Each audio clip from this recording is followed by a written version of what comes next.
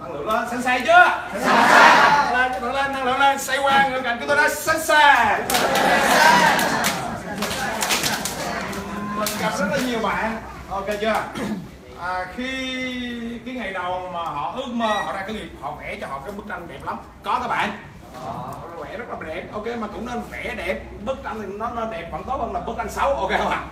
À, và vẽ như thế nào vẽ thì như thế nào à sau đó thì như thế nào sau đó như thế nào à, à cái việc đầu tiên là có họ nghĩ là họ cần phải có cho mình một cái văn phòng. Ok chưa? À ok họ nói là họ cần có cho mình một cái văn phòng. Và thế là bắt đầu họ đi mướn cho mình một cái bản văn phòng họ sắm sửa đồ đầy đủ. Có các bạn đó rồi ok chưa? Rồi sau đó như thế nào à rồi bắt đầu tới ngày khai trương. À, bạn bè gặp rất là nhiều bạn bè bạn bè tới chúc mừng rồi này kia. Ok chưa? Sau khi bạn bè ra về rồi á thì bắt đầu văn phòng nó còn lại có một mình họ. Có mà à, và ông mới phát hiện ra rằng mình phải ngồi để mình giữ cái văn phòng đó. Có mà à, loay hay loay hay chưa kịp có khách hàng. Ok chưa? À, chưa kịp có khách hàng. Thì nó như thế nào ạ? À? à, văn phòng đã tới tán rồi. Có không? À, phải trả tiền gì?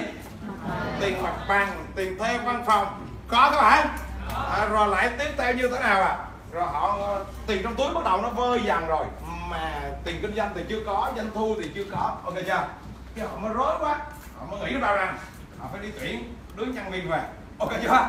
Để cho nó giữ cái văn phòng đó. Ok chưa? Để mình đi tìm kiếm cái này. Ok chưa? Bắt đầu họ mới lên cái hạch tuyển dụng. Có các bạn ơi. Họ tuyển dụng một thời gian xong mới ra được cái đứa nhân viên. Có mà à, và cái ngày đầu tiên nhân viên nó đi làm họ mới ngộ ra một điều rằng hồi xưa mình giữ cái văn phòng đó bây giờ mình giữ thêm đứa nhân viên đó nữa. Ok không à, bởi vì một thực tế ra rằng nhân viên nó chẳng biết làm cái quả gì. Có có không? Đó ok chưa?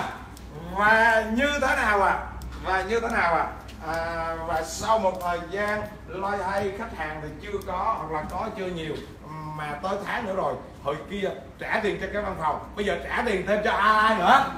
Cho nhân viên nữa. Tiền trong túi lại sắp hết rồi. Ok không ạ và một thời gian sau mình đi ra ngoài đường mình gặp rất là nhiều bạn. Suốt ngày chạy ngoài đường á.